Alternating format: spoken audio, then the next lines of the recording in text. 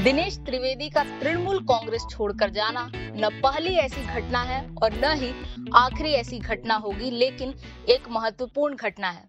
साथ ही एक साक्षात्कार में दिनेश त्रिवेदी ने यह भी कह दिया है कि पार्टी छोड़कर वे ममता बनर्जी को संदेश देना चाहते हैं कि वे अपने आप में कुछ सुधार करें। यह संदेश क्या है और किस सुधार की बात हो रही है इस पर बात करेंगे हम आज के वीडियो में।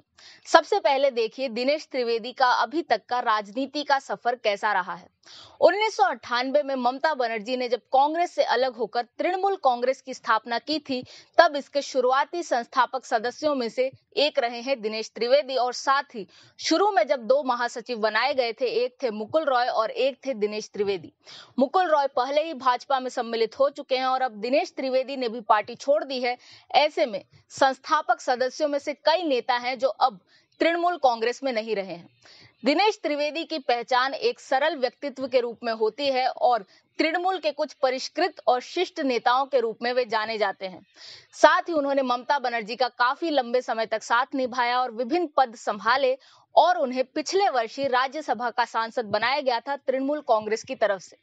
ऐसे में तृणमूल कांग्रेस छोड़कर जाने वाले नेताओं के दो कारण प्रमुख रूप से पाए जाते हैं। पहला कारण तो यह कि तृणमूल कांग्रेस में उन्हें अपने लिए कोई अवसर नहीं दिखता और वे पार्टी छोड़ देते हैं। दूसरा कारण यह कि तृणमूल कांग्रेस में उनका रहना मुश्किल हो जाता है। जब मैं कह रही हूँ कि पिछले वर्ष ही उन्हें राज्यसभा सांसद बनाया गया था, यानी अप्रैल 2026 तक उनका राज्यसभा सांसद का कार्यकाल है। ऐसे में अवसर की कमी तो दिनेश त्रिवेदी के लिए नहीं लगती, बल्कि दूसरा कारण हो, ऐसी संभावना अधिक है। ऐसा क्या हुआ तृणमूल कांग्रेस में जो उनका पार्टी में रहना मुश्किल हो गया? सबसे बड़ी बात है अपमान। समय समय पर ममता बनर्जी उन बड़े नेताओं का अपमान करती रहती हैं, जिनके लिए उन्हें ऐसा लगता है कि वे उन पर हावी हो सकते हैं। ऐसी सार्वजनिक घटना 2012 मार्च में देखने को मिली, जब दिनेश त्रिवेदी रेल मंत्री थे और रेल बजट प्रस्तुत करने के कुछ दिनों बाद ही उन्हें रेल मंत्री का पद छोड़ना पड़ा था। ऐसा उन पर आरोप था कि उन्होंने ममता बनर्जी से बिना पूछे रेल किराए में वृद्धि कर दी थी। 2011 तक ममता बनर्जी रेल मंत्री थी और जब वे बंगाल की मुख्यमंत्री बन गई तो रेल मंत्री का कार्यभार दिनेश त्रिवेदी को छोड़ा, को दिया गया और जब दिनेश त्रिवेदी को उस पद से हटा दिया गया तो मुकुल रॉय को रेल मंत्री बनाया गया था। ऐसे में 2012 में उस पद से हटाना एक काफ़ी बड़े अपमान की बात थी और उसके बाद भी कई ऐसी घटनाएँ दिनेश त्रिवेदी के साथ हुई, जहाँ पर ममता बनर्जी सामान्य रूप से पार्टी कार्यकर्ताओं के सामने भी नेताओं का अपमान करती हैं, यदि वे किसी को दबाना चाहती हैं और पार्टी के बीच अंतर्द्वंद को भी बढ़ावा देती हैं। दूसरा प्रमुख कारण, जो कि अपमान का ही एक रूप है, वह था प्रशांत किशोर की टीम। जैसा कि स्वयं दिनेश त्रिवेदी ने भी कहा कि उनके अकाउंट से उनकी जानकारी के बिना अपशब्द ट्वीट कर दिए जाते थे। अमित शाह या नरेंद्र मोदी के विरुद्ध जो कि उन्हें पसंद नहीं है, क्योंकि वे एक शिष्ट व्यवहार करने वाले राजनेता हैं। और ऐसी ही चीज़ होती थी कि प्रशांत किशोर की टीम ही बताती थी कि क्या करना है, किस रैली में क्या बोलना है। और जब वे संसद से वापस आते थे, तब भी उनसे पूछा जाता था कि क्यों उन्होंने वहाँ पर अपशब्द नहीं कहे सत्ताधारी पार्टी के नेताओं को। ऐसे में वे हतोत्साहित हो गए थे और उन्हें लगा कि क्या विपक्ष का इतना ही काम है और इसलिए उन्होंने पार्टी छोड़ दी। इसके अलावा अभिषेक बनर्जी, जो कि ममता बनर्जी के भतीजे हैं, उन्हें बढ़ा चढ़ाकर दिखाना और उनके नाम पर दूसरे नेताओं को दबाना भी तृणमूल कांग्रेस में एक तरह से ट्रेंड चल गया है, जिसके कारण कई बड़े नेताओं ने पार्टी छोड़ी है, जिसमें से एक बड़ा नाम शुभेंदु अधिकारी का है। लेकिन ये सारी घटनाएँ हाल की हैं। ममता बनर्जी की पार्टी में ये जो समस्याएँ हैं, अंतर्द्वंद को बढ़ावा देना, नेताओं को अपमानित करना और चापलूसी करने वालों को आगे बढ़ाना, वह शुरू से ही है। 2006 में पार्टी छोड़ने वाले पहले कुछ नेताओं में से एक रहे हैं पंकज बनर्जी। उन्होंने भी संस्थापक सदस्य के रूप में ममता बनर्जी का साथ दिया था, लेकिन फिर हुआ यूँ कि 2001 में जब बंगाल में तृणमूल कांग्रेस प्रमुख विपक्षी पार्टी बन गई तो वे विपक्ष के नेता बने और विधानसभा में वे लेफ़्ट के नेताओं पर हावी हो जाते थे अपने तर्कों से, अपने वाक चतुरता से और ऐसे में उनके ऊपर सारा ध्यान जा रहा था लोगों का। ममता बनर्जी को लगा कि वे उन पर हावी हो रहे हैं।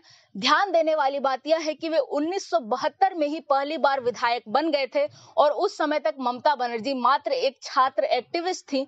तो ऐसे में वरिष्ठता और राजनीति में भी वे उनसे आगे थे, लेकिन फिर भी ममता बनर्जी को ये चीज़ बर्दाश्त नहीं हुई और उन्होंने धीरे धीरे उनसे रिस्पॉन्सिबिलिटीज कम कर दी, उनकी जिम्मेदारियाँ दूसरों को देना शुरू कर दिया। सदन में भी उन्हें कम बोलने का अवसर दिया जाता था और जब इस चीज़ के प्रति उन्होंने खेद प्रकट किया, तब ममता बनर्जी ने सबके सामने उनका अपमान शुरू कर दिया और इस चीज़ को वे झेल नहीं सके और 2006 के चुनावों से पहले ही उन्होंने पार्टी छोड़ दी। उसके बाद एक तरह से उन्होंने साधारण जीवन जिया और वे राजनीति में सक्रिय नहीं रहे 2018 में उनकी मौत हो गई। लेकिन उनके निकटवर्ती और संबंधियों से जब मेरे वरिष्ठ जयदीप मजुमदार ने बात की तो उनके अनुसार भी ममता बनर्जी जो, ने जो उनका अपमान किया था और संस्थापक सदस्यों में से एक होने के नाते उन्हें जो सम्मान मिलना चाहिए था, वह नहीं मिला। इसकी कसक उन्हें अंतिम दिनों तक रही थी।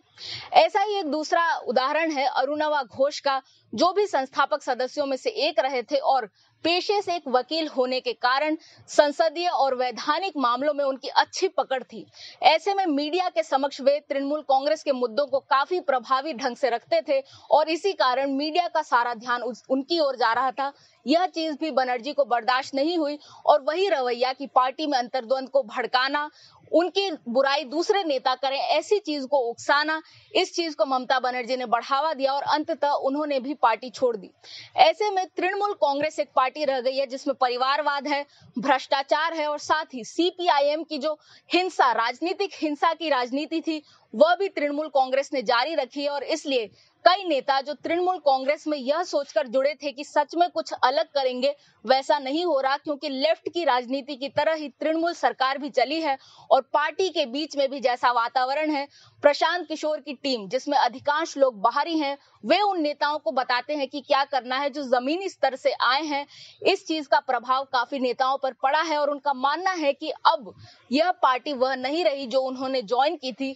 ममता बनर्जी ने पार्टी की कमान प्रशांत किशोर और अभिषेक बनर्जी को सौंप दी है और यही उनकी असंतुष्टि का कारण है। मैं हूँ निष्ठानुश्री, देखते रहे स्वराज्य।